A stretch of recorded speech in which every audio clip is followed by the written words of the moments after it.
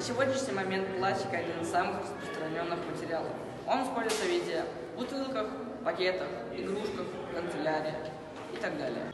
А ведь немногие знают, что пластик содержит токсичный бисферол А, который взаимодействует на мозг и репродуктивную систему, является возбудителем серьезных заболеваний. Из-за пластика на планете происходит парниковый эффект, из-за этого на планете поднимается температура, поэтому происходит таяние ледников и могут произойти сильные наводнения.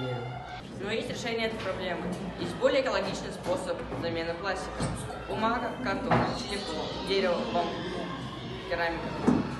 Волонтеры – это люди, которые на добровольной основе участвуют в экологической деятельности нашей планете, вне зависимости от возраста, пола национальности.